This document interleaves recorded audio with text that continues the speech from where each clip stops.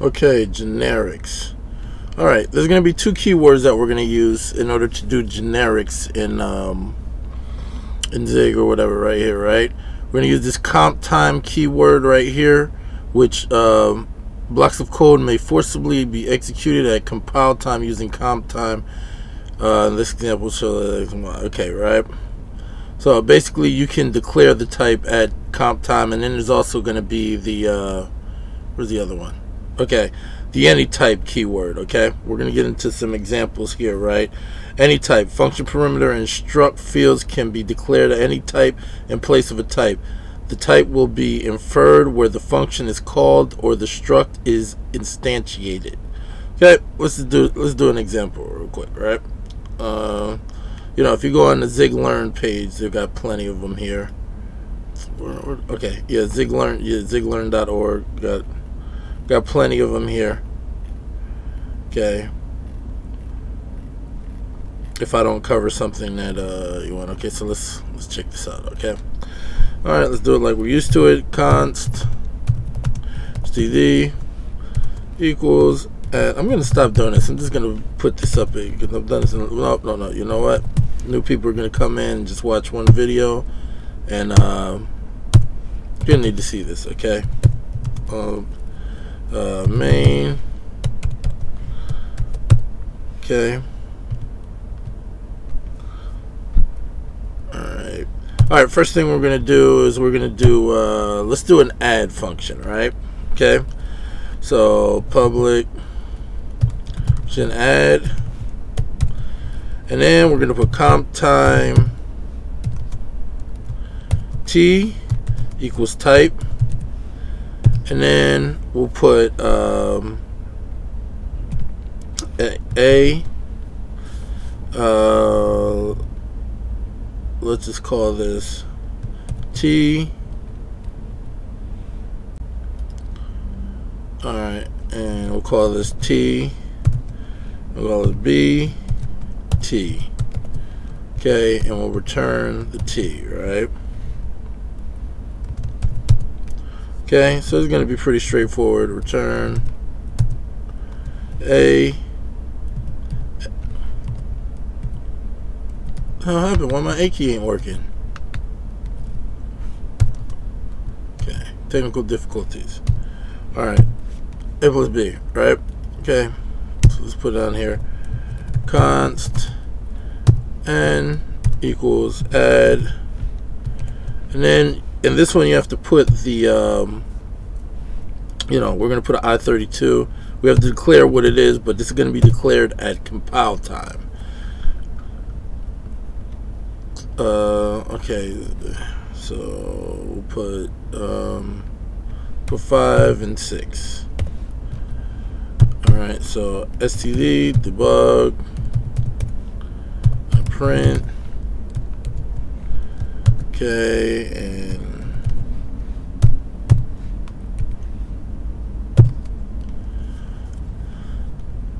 and then we put that dot then n right here right? Alright so this should return 11 right? Okay zig run. Generics. Video. Oh I didn't put uh I didn't separate this with the colon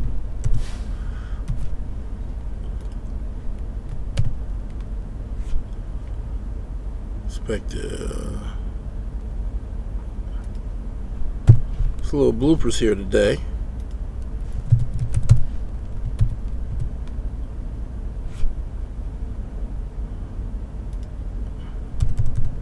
Yeah, it's morning time. So let me wake up and get me a video in. Okay. I'm forgot void here.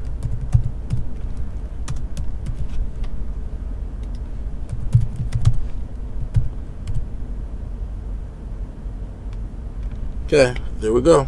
So we got 11 there, okay? All right, so another thing we can do, because um, like I said, this, uh, you know, sometimes you don't want to declare this variable right here, declare exactly what it is, right? Because you don't know what it's going to be, right? So here we can uh, we can take this out, all right?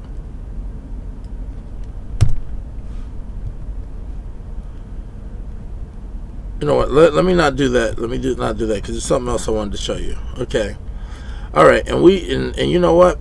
Another cool thing we can do is based on the type because we're declaring the type here we can make um, we can make uh, we can we can have different outcomes in a function so let me show you what I mean okay so f t which is this type right here right equal equal i32 if it's an i32 we can return a plus b plus 2, right? But if t is equal to a u32,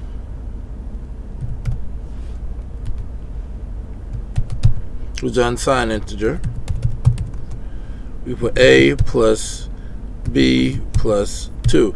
So you can have two different outcomes based on the type, right? Uh, put red retuner. Alright, so let's see what we got here. Okay, so it's going to be 11 because it's the I-32, so let's change it to U-32 so we can see what happens here. Okay, 13. You can see you get two different outcomes based on the type, right? Now, you can also um, all right now this is going to be for the comptime keyword right here right there's going to be there's definitely going to be an amendment to this video right because there's much more there's more you can do with this but I just wanted to cover generics for like people that are coming from us. How do you do generics? Okay. All right. So we can also use something called anytype.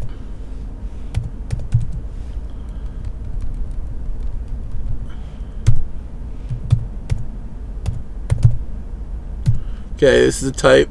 Uh, let me see. Where can I get? Where did I get this? Okay. Yeah, I showed you this before. Function parameter struct fields that can declare any type. Okay, anytype, right? And then we do. We're gonna cover these two. These are built-ins right here, right? Built-in, uh, built-in functions. You know, they do certain things, right? We'll we'll cover them uh, later on but just understand that this the syntax instead of being snake case it's going to be in a camel case too right all right so type of t right so we can just do it again like we used to it we don't have to declare we don't have to declare the uh, the type b okay so let's do this again and clear this out so it's easy on the eyes Alright, oh, because I didn't take this U32 out. Okay.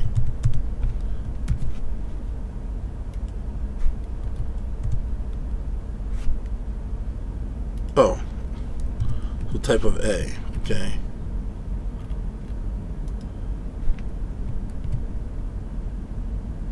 There we go.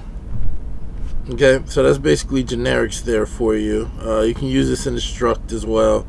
I just wanted to show you this um, so you can operate on, you know, generic functions. All right. Thank you.